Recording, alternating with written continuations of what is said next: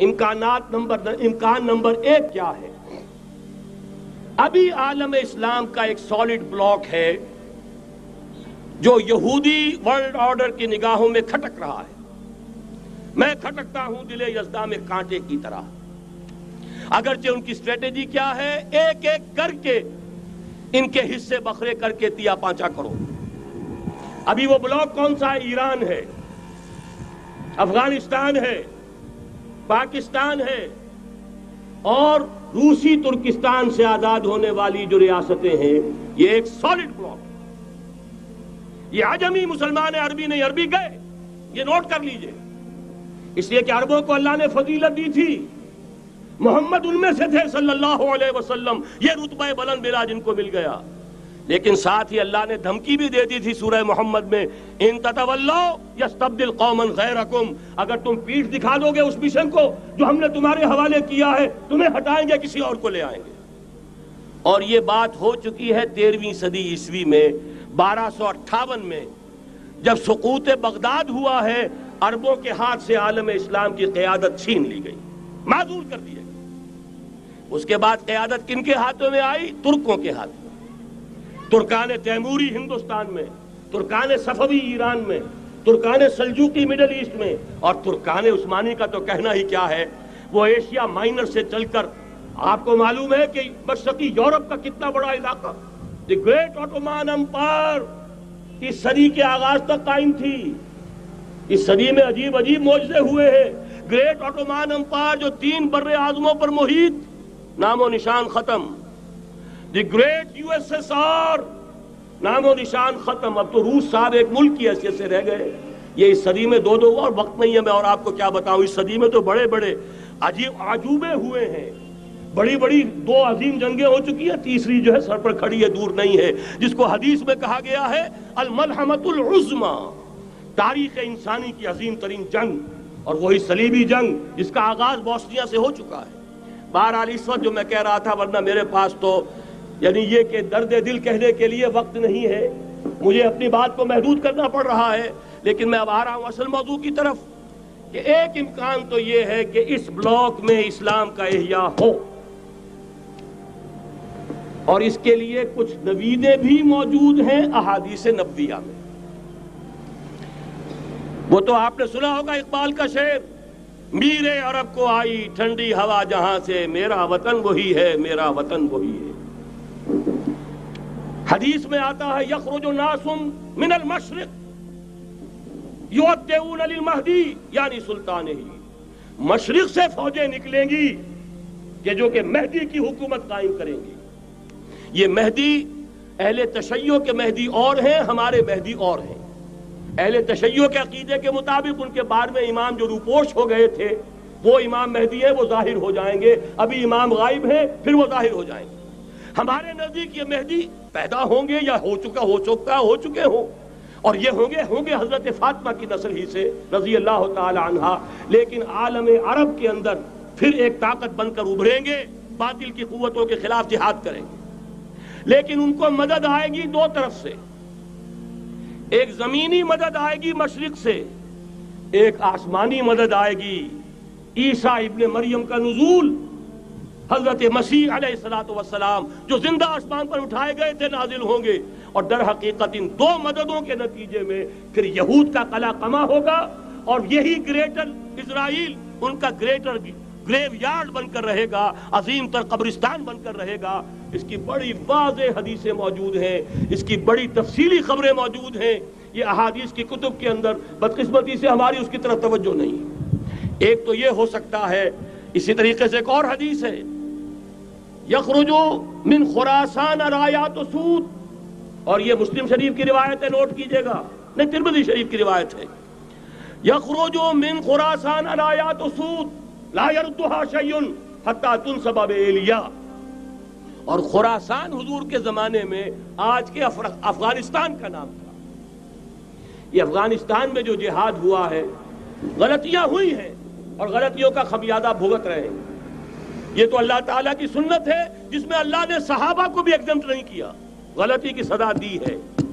पैंतीस सहाबा की गलती गजब में हुई।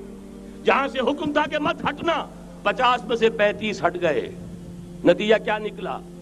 फतह शिकस्त में बदल गई। सत्तर साहबा शहीद हो गए। अल्लाह ताला ने फरमाया वलका सदाकुमुल्लाहु इस्तहुसूनहुम बेइज्नी। हत्ता इजा फशिलतुम व तनाज़ातुम फिल अम्र व असैतुम मिन बाद मा अराकुम मा तुहिब्बून मुसलमानों हमसे गिला नहीं कर सकते हमने अपना वादा सच्चा कर दिखा दिया था जबकि तुम उन्हें गाजर मूली की तरह काट रहे थे लेकिन जब तुम ढीले पड़ गए तुमने डिसिप्लिन को तोड़ा तुमने इख्तिलाफ किया तो सजा दिया तो अगर सहाबा किराम रिजवान तजमाइन खैर उन्नास बादल अंबिया पूरी नौ इंसानी के अंदर, अंबिया के बाद बुलंद तरीन इंसान। अगर उनकी भी गलती का खमियाजा जो है अल्लाह ने चुकाया, क्यों चखाया? ज़रूरी था। आइंदा के लिए सबक हो जाए। ताकि तुम्हारे दिलों के अंदर अगर कहीं कोई खोट है, और पाक कर दे हम। इसलिए, बहरहाल गलतियाँ हुई हैं अफ़गानिस्तान में। एक इमाम के साथ बैत नहीं थी, बल्कि बदकिस्मती और बढ़कर यह है, बैत करके तोड़ दी। अब्दुल रसूल सैयाद साहब के हाथ पर हमारे पाकिस्तान के सातों ग्रुप जो थे, इन्होंने एन हरम में बैठकर बैत की और पाकिस्तान आकर बैत तोड़ दी। सजा उसकी मिल रही आपस की खाना जंगी यूँ ही नहीं हो रही। कोई सबब है। लिहाजा ये सजा तो मिलेगी, लेकिन जितना खून यहाँ पर खुलूस के साथ दिया गया है, उसकी मिकदार भी कम नहीं है। यहाँ से खैर बरामद होगा। और दूसरी बात अपने बारे में नोट कर लीजिए। ये पाकिस्तान बचा खुचा Pakistan what remains of Pakistan, ये असल में है क्या? मौलाना बहुत खूबसूरत अंदाज में फरमा रहे थे। ये 313 नहीं थे, इस्लाम था। इसी तरह नोट कीजिए, पाकिस्तान नहीं है। चार सदियों की तजदीदी मसाई का हासिल है। आपने कभी नोट किया? खत्म नबूवत के बाद। अब सबसे ऊँचा मनसब किसका है? मुजद्दीन सुनन अबी दाऊद की रिवायत इन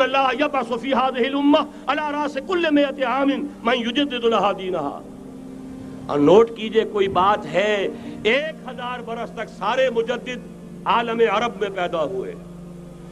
जैसे ही दूसरा हज़ार साल शुरू हुआ, अल्फ सानी का मुजद्दिद आज़म, शेख अहमद सरहंदी कहा था? सनम खाना हिंद में। हाजिर हुआ मैं शेख मुजद्दिद की लहत पर। वो खाक के है जेर फलक मतलब अनवार। गर्दन न झुकी जिसकी जहांगीर के आगे, जिसके नफसे गर्म से है गर्मी आ रहा वो फिर बारहवीं सदी का मुजद आज़म, इमामुल हिंद शाह वलील्ला देहलवी। तेरहवीं सदी का मुजद आज़म, सैयद अहमद बरेलवी, उसके खून का अमीन और उसके साथ के शोहदा के खून का अमीन, उनके जिस्मों का अमीन आपका खिता है हजारा। आपका खिता सवात इसमें उनकी जाने हैं जो दी गई हैं। और वो नहायत में आपसे अर्ज़ कर दूँ, दौरे साहबा के बाद इतना खालिश इस्लामी जिहाद पूरी मुसलमान तारीख में नहीं मिलेगा जितना वो तहरीक शहीद का था। चौदहवीं सदी हिजरी में शेख उल हिंद जैसा मुजाहिद आज़म के अंग्रेज़ ने गिरफ़्तार करके कैद भी किया है तो कहा हिंदुस्तान में नहीं? कहा? जजीरा है साइरस, क्या नाम था? बाल्टा, जजीरा माल्टा बहरा रूम में। इकबाल के नफस से है लाले की आग तेज। ऐसे गज़ल सरा को चमन से निकाल दो। कहीं हिंदुस्तान की किसी जेल में हुआ तो शायद इसके नफस की गर्मी ही से कोई हरारत पैदा हो जाए। और उसी सदी में, चौदहवीं सदी हिजरी में, इकबाल जैसा मुफक्र उसी चौदहवीं सदी हिजरी में, मौदूदी जैसा मुसन्फ उसी चौदहवीं सदी हिजरी में, मौलाना इलियास जैसा मुबल्लिग रहमहुल्लाह असीम शख्सियतें। आज पूरे आलम इस्लाम में आपको तबलीगी दोस्त मिलेंगे। ये कहाँ से शुरू हुई तहरीक? दिल्ली की एक छोटी सी मस्जिद से। वो मस्जिद बंगले वाली। अब तो बड़ी आलिशान हो गई है। जब वहाँ शुरू हुआ था काम, बड़ी छोटी सी मस्जिद। ये सारे काम यहाँ क्यों हुए? पूरा आलम इस्लाम आज़ाद हुआ।